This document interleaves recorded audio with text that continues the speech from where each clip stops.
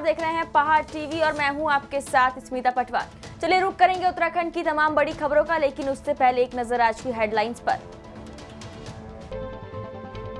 संविदा आउटसोर्स वाहन चालक संघ ने अफसरों पर घर के काम कराने का लगाया आरोप, सीएम धामी को भेजा ज्ञापन। बिना प्रोटोकॉल अस्पताल का निरीक्षण करने पहुँचे स्वास्थ्य मंत्री, डीएम को भी नहीं लगी भनक। गृह कलेश में पिता ने सोते हुए बेटे पर किया कुल्हाड़ी से वार हालत गंभीर। भाजपा नगर मंडल कर्णप्रयाग ने कल मनाया काला दिवस, कांग्रेस को जमकर घेरा। अधिकांश क्षेत्रों में तेज धूप खिल रही है। और तापमान में भी वृद्धि देखने को मिली है। मैदानी जिलों में चटक धूप खिलने से तापमान में तीन से चार डिग्री सेल्सियस की वृद्धि हुई है। इसी बीच मौसम विभाग ने 26 जून यानी आज से प्रदेश में भारी बारिश का अनुमान लगाया है। आज से प्रदेश में बरसात का क्रम तेज हो सकता है। वहीं उत्तराखंड में मौसम विभाग ने अट्ठाईस से उनतीस जून को मानसून के दस्तक देने की उम्मीद जताई है। इससे पहले ही आज से प्रदेश में वर्षा का क्रम तेज हो सकता है। ऐसे में रुद्रप्रयाग, चमोली, उत्तरकाशी, पिथौरागढ़, बागेश्वर जैसे जिलों के लोगों को बेहद सावधान रहने की ज़रूरत भी है। दरअसल यही वो ज़िले हैं जहाँ बारिश और मानसून सीज़न में ज़्यादा बर्बादी होती है। मौसम विज्ञान केंद्र के निदेशक विक्रम सिंह के अनुसार प्रदेश में शुक्रवार और शनिवार को आंशिक बादल छाए रह सकते हैं। इस दौरान पर्वतीय क्षेत्रों में कहीं कहीं हल्की वर्षा हो सकती है। इसके बाद रविवार से प्रदेश में वर्षा का क्रम तेज हो सकता है। 26 से कुमाऊं में भारी वर्षा की चेतावनी जारी की गई है। स्वास्थ्य मंत्री डॉक्टर धन सिंह रावत आजकल अपने विधानसभा क्षेत्र के भ्रमण पर हैं। इस दौरान वो अपने क्षेत्र में स्वास्थ्य व्यवस्थाओं का हाल जानने बिना प्रोटोकॉल के ही पहुँचते दिखाई दिए। ऐसा कुछ ही कल देखने को मिला। स्वास्थ्य मंत्री पीपीपी मोड पर चल रहे जिला अस्पताल में व्यवस्थाओं का जायजा लेने पहुँचे, जिसकी जान जिसकी जानकारी प्रशासन को नहीं थी। स्वास्थ्य मंत्री के औचक निरीक्षण से प्रशासन के हाथ पैर फुले हुए दिखे। आपको बता दें कि कैबिनेट मंत्री का औचक निरीक्षण कब और कहाँ हो जाए, ये किसी को भी पता नहीं होता है। ऐसा ही औचक निरीक्षण शनिवार सुबह स्वास्थ्य मंत्री ने पौड़ी के जिला अस्पताल में किया। उन्होंने स्वास्थ्य व्यवस्थाओं के अलावा शिविर का भी जायजा लिया। वही स्वास्थ्य मंत्री धन सिंह रावत बिना प्रोटोकॉल के ही पीपीपी मोड पर चल रहे जिला अस्पताल में व्यवस्थाओं का जायजा लेने पहुँचे। इतना ही नहीं, कैबिनेट मंत्री के औचक निरीक्षण की जानकारी। डीएम डॉक्टर विजय कुमार जोगडंडे तक को नहीं थी।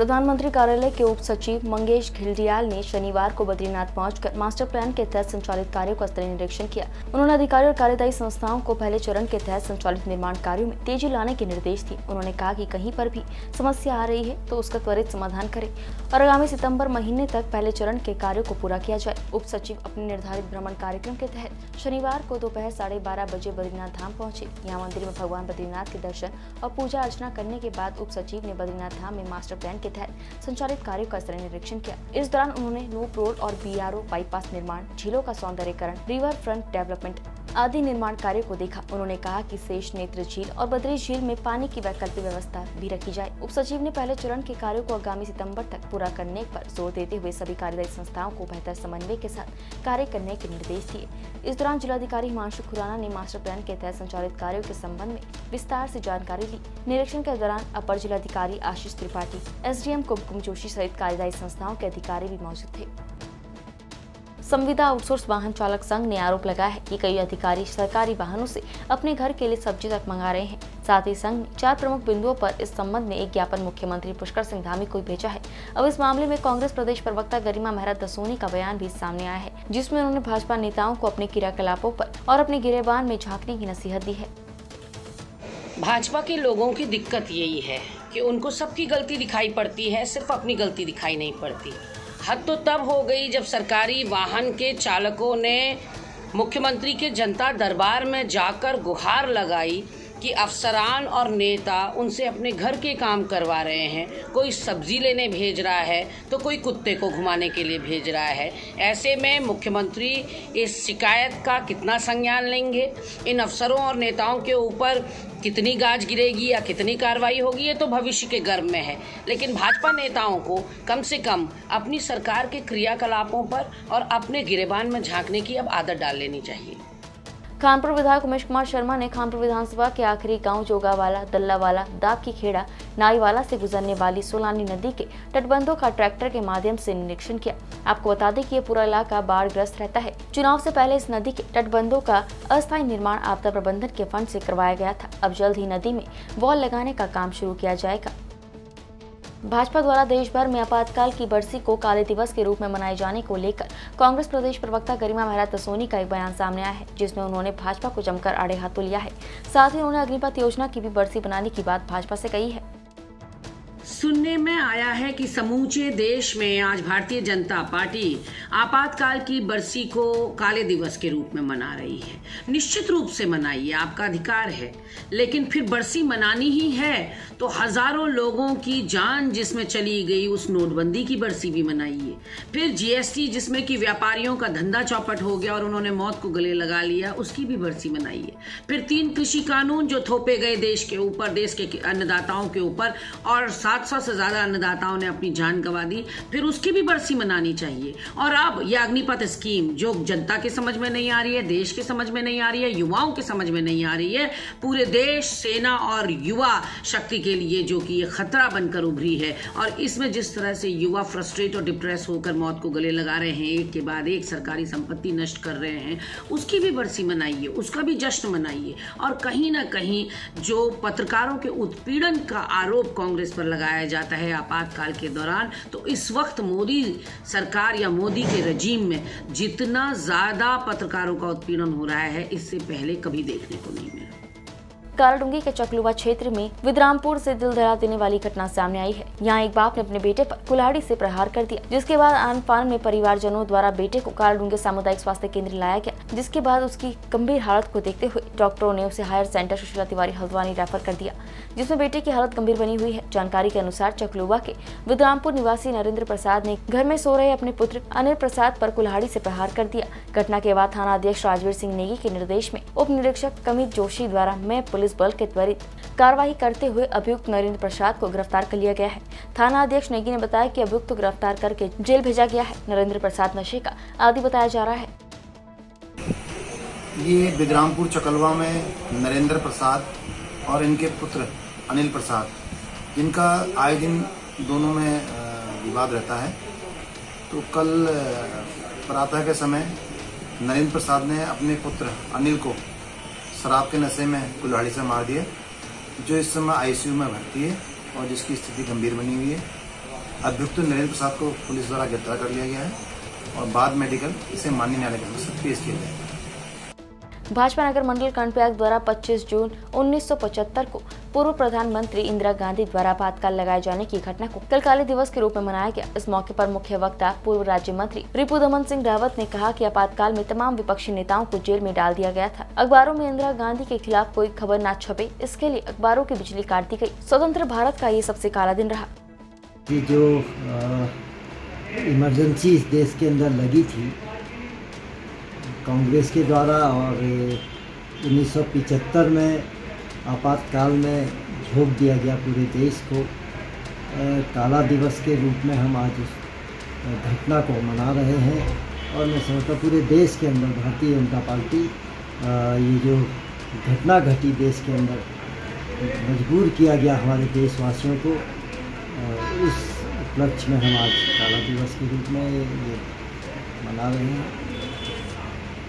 केदारनाथ यात्रा में श्रद्धालुओं की सुरक्षा का महत्वपूर्ण जिम्मा पुलिस के हाथ में रहता है। इसके साथ ही एनडीआरएफ, एसडीआरएफ और जिला आपदा प्रबंधन भी सहभागिता से कार्य करते हैं। केदारनाथ धाम की यात्रा काफ़ी कठिन मानी जाती है क्योंकि गौरीकुंड से 17 किलोमीटर चौड़ाई वाला पैदल मार्ग थकान भरा है। ऐसे में इस मार्ग पर दुर्घटनाओं का भी खतरा बना रहता है।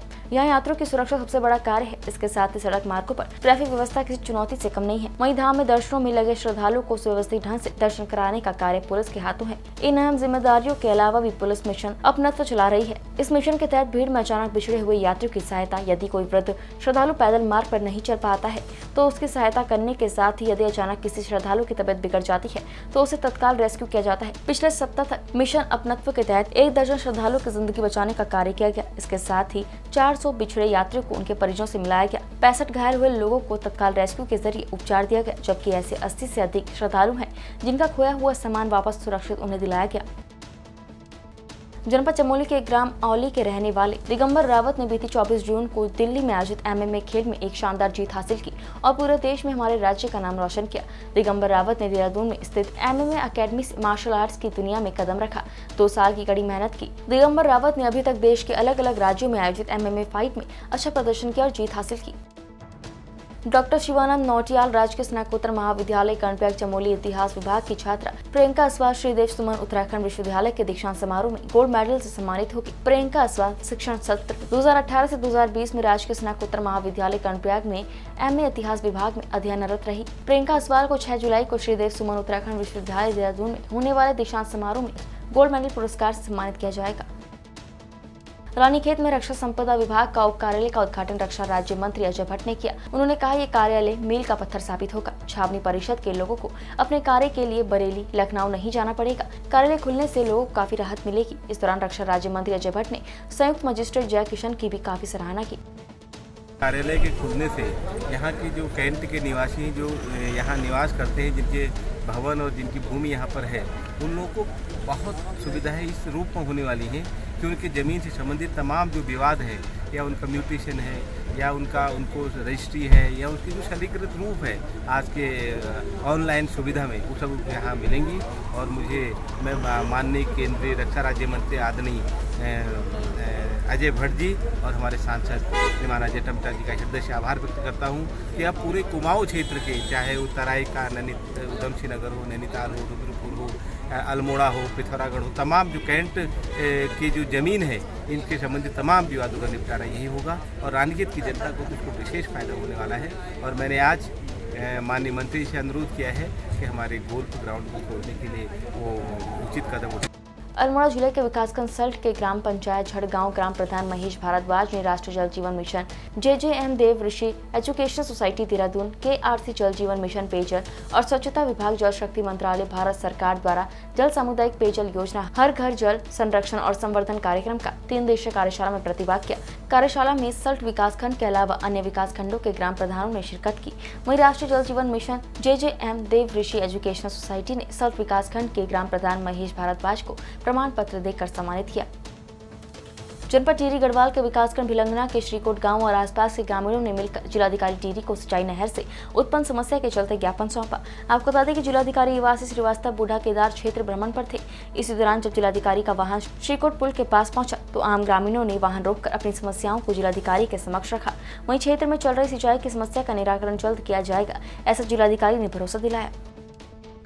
रखी है। और आज हमारी बारी आई रोपाई लगाने की। यहाँ तो हमारे बीज भी सूख चुके हैं खेत के, धान के बीज सूख चुके हैं। हमने आगे तो बात कर रखी है, जिला पंचायत से लेकर क्षेत्र पंचायत, नगर पंचायत सब बात कर दी है। कोई हमारे बात आगे पहुँचाने वाला नहीं है आजकल। कि हमारी नहर पर पानी नहीं। हमारी नहर ये नहीं था, ये जन बना था कि रेड़ की हड्डी की तरह। ठीक है टूटी जाए तो हमारे सारों की हमार जो था खत्म होगी हमारो की हमार जो था ये नहीं जाने सोना की चिड़िया था ये नेरी का पिछवाड़ी। हमारी हर सब्ज़ी उपलब्ध हुआ था ये। और हमारी एक बासमती उग दी सब कुछ उग दी। अब भैर की राशन होना ना भले न मिलो मोया राशन पर हमारे डोखरी को मिट रहो। बस। ठीक है? अब ये बेलदार जो धरिया सब चट्टू बाटू धरिया। कोई तक ड्यूटी नहीं भाई और नहीं तो तो सिपुगना आए थे वो करो। आदेश दो कि हम दाड़ी हो रखो बेलदार। अभी डीएम साहब अंतर्राष्ट्रीय ड्रग्स दिवस के मौके पर सल्ट पुलिस ने मूल्यखाल बाज़ार में लोगों को जागरूक किया। इस मौके पर पुलिस ने ड्रग्स जागरूकता सप्ताह के तहत लोगों को नशे से होने वाले नुकसान की जानकारी भी दी। नशे से युवा पीढ़ी को बचाने के लिए सहयोग की अपील भी की। आज हमारा छब्बीस जून को ड्रग्स जागरूकता दिवस अंतर्राष्ट्रीय ड्रग्स जागरूकता दिवस है। तो इस समय भी हमारा अंतर्राष्ट्रीय ड्रग्स जागरूकता सप्ताह चल रहा है। इसके अंतर्गत आज हमने सल्ट बाज़ार में यहाँ के स्थानीय लोगों को, व्यापारियों को, अन्य ड्राइवरों को, जो भी यहाँ के स्थानीय लोग हैं, उनको ड्रग्स के दुष्प्रभाव के बारे में बताया गया इससे जो है कैसे शारीरिक रूप से आदमी का नुकसान होता है, मानसिक रूप से बीमार होता है, और धीरे धीरे जैसे आदमी इस लत पर पड़ता है तो उस पर कई सारी जो है आर्थिक कमी होने के कारण चोरियाँ, डकैती, लूट जैसी कई अपराधों में संलिप्त होने की पूर्ण संभावना रहती है तो इस बारे में हमने उनको विस्तृत रूप से बताया है और इसको ड्रग्स को कम से कम कम से कम बिल्कुल लेने के लिए ना ले। इसके लिए सब लोगों को हमने आज यहाँ पर जागरूक किया। रतनगढ़ के कथा व्यास मनु महाराज के द्वारा इन दिनों बद्रीनाथ धाम में भागवत कथा आयोजित की जा रही है। लेकिन भागवत कथा आयोजकों द्वारा देश भर के श्रद्धालुओं को भ्रमित किया जा रहा है। बताया जा रहा है कि आयोजक पिंडदान और तर्पण के नाम पर श्रद्धालु से वसूली कर रहे हैं। मेरी जानकारी के मुताबिक महाराज के अनुयायियों द्वारा श्रद्धालुओं से ब्रह्म कपाल तीर्थ में पिंडदान और तर्पण के लिए इक्यावन सौ रूपए की धनराशि ली जा रही है और श्रद्धालु से ये कहा जा रहा है कि उनके पिंडदान और तर्पण ऑनलाइन कराया जाएगा। इस संदर्भ में ब्रह्म कपाल तीर्थ पुरोहित पंचायत समिति और बद्रीश पंडा पंचायत समिति, बरलीनाथ और देवप्रयाग के तीर्थ पुरोहितों के प्रतिनिधि मंडल ने थानाधीश बद्रीनाथ से मिलकर लिखित शिकायत दर्ज की। बद्रीनाथ धाम में इन दिनों रतनगढ़ राजस्थान के मनुश्री महाराज की भागवत कथा का आयोजन किया जा रहा है और इस कथा के दौरान आयोजकों द्वारा देश भर से लोगों से ये आह्वान किया जा रहा है कि जो ये बद्रीनाथ स्थित ब्रह्म कपाल धाम है, वहाँ पर यदि कोई अपने पूर्वजों के निमित्त पिंडदान या तर्पण करना चाहता है वो उनसे संपर्क करें और वो जो है, उनके जो आयोजक हैं, वो लोग जो है, इक्यावन सौ रुपये प्रति व्यक्ति के हिसाब से उनसे पैसे मांग रहे हैं, अपना अकाउंट नंबर दे रहे हैं और वो ये भी कह रहे हैं सरदार लोगों से कि उनको जो है इससे संबंधित वीडियो या ऑडियो एक ऐसे कुछ भी चीज़ें उनको नहीं प्रोवाइड नहीं कराई जाएगी। ये बद्रीनाथ में अपनी तरह का ये पहला ऑनलाइन ठगी का मामला है और आज तीर्थ पुरोहितों के प्रतिनिधिमंडल ने थानाध्यक्ष बद्रीनाथ को इस संदर्भ में लिखित तहरीर दर्ज कराई है और यदि इस पर जो है कार्रवाई नहीं की गई तो निश्चित रूप से आने वाले दिनों में त्रिपुरोहित आंदोलन के लिए बाध्य होंगे। पीजीआई चंडीगढ़ की पीडियाट्रिक पल्मोनोलॉजी सेंटर और टेलीमेडिसिन विभाग के अध्यक्ष मीनू सिंह को अखिल भारतीय आयुर्विज्ञान संस्थान ऋषिकेश की नई निदेशक नियुक्त किया गया है। शुक्रवार को केंद्रीय स्वास्थ्य मंत्रालय ने उनकी नियुक्ति का आदेश जारी कर दिया है। प्रोफेसर मीनू ने हिमाचल प्रदेश विश्वविद्यालय शिमला से एमबीबीएस किया। इसके बाद पिट्सबर्ग विश्वविद्यालय अमेरिका से पीडियाट्रिक पल्मोनोलॉजी में फिलोसफी की। प्रोफेसर मीनू सिंह वर्तमान में पीजीआई चंडीगढ़ में पीडियाट्रिक पल्मोनोलॉजी सेंटर और टेली मेडिसिन विभाग के अध्यक्ष के तौर पर काम कर रही है। बाल रोग अनुसंधान के क्षेत्र में प्रोफेसर मीनू सिंह का विशेष योगदान रहा है। उन्होंने खासकर टीबी अस्थमा और सिस्टिक फाइब्रोसिस के क्षेत्र में उल्लेखनीय कार्य किया। रामनगर के तराई पश्चिमी वन प्रभाग के पतरामपुर रेंज में गश्त के दौरान जंगल में अवैध रूप से लकड़ी काट रहे एक तस्कर को वन कर्मियों ने दबोचते हुए उसे कोर्ट में पेश करने की कार्रवाई की। मामले में पतरामपुर के रेंजर राजकुमार ने जानकारी देते हुए बताया की जंगल में गश्त के दौरान वन कर्मियों को मोटरसाइकिल के टायर के निशान दिखाई थी, जिसके बाद वन कर्मियों ने जंगल में जाकर देखा तो छह तस्कर दक्षिणी बिट के कंपार्टमेंट से दो सौ एक सागौन का पेड़ अवैध रूप से काट रहे थे। रंजन ने बताया की वन कर्मियों ने एक तस्कर को मौके ऐसी ही गिरफ़्तार कर लिया। आरोपी लकड़ी तस्कर ग्राम तुमरिया डाम सेकंड का रहने वाला है और उसके खिलाफ पहले भी विभाग में वन अपराध से संबंधित कई मामले दर्ज हैं। रेंजर ने बताया कि कार्रवाई के दौरान पाँच तस्कर मौके से फरार हो गए हैं, जिनकी तलाश भी जारी है। आज सुबह लगभग पौने तीन बजे हमारी एक गश्ती दल की टीम तुमड़िया बीट में गश्त कर रही थी। तभी उन्हें कुछ मोटरसाइकिलों के चिन्ह दिखाई दिए टायरों के। उसका पीछा करते हुए जब ये लोग गए तो कंपार्टमेंट थर्टी नाइन में दो साल के पेड़ इन्हें कटे हुए मिले। फिर उसके आगे टायरों के चिन्ह फिर दिखाई दिए इनको आगे जाते हुए। पुनः आगे गए तो वहाँ लकड़ी काटने की कुछ आवाज़ें आई और कुछ बोलने की आवाज़ें आई। वहाँ जाके देखा तो ये छः लोग थे जो कि उस समय जो है पेड़ काट रहे थे। और जैसे ही हमारी टीम को इन्होंने देखा, ये जो है अपना सामान लेके भागना शुरू कर दिया। इसमें हमने एक छिंदर सिंह पुत्र महेंद्र सिंह, तुमड़िया डाम सेकंड को जो है रंगे हाथों वहाँ गिरफ़्तार कर लिया है। और इसके साथ साथ ही वहाँ हमने पाँच बाइकें बरामद की हैं और जितना जो लकड़ी थी साल की दो पेड़ थे और एक सागुन का पेड़, उसको हमने जो है मौके से बरामद कर लिया ये ले जाने में वहाँ उसे सक्सेस नहीं हो अभी ये जाँच की जा रही है कितने अपराध हैं। उत्तरी और दक्षिणी दोनों जसपुर रेंजों में इसके खिलाफ जो है अपराध दर्ज हैं। इसके साथ साथ हम जो आसपास की और रेंजें हैं और जो थाने हैं, उनसे भी ये सूचनाएँ ले रहे हैं। उत्तराखंड की तमाम बड़ी खबरों में फ़िलहाल इतना ही। बाकी खबरों के लिए देखते रहिए पहाड़ टीवी। नमस्कार। Thank you.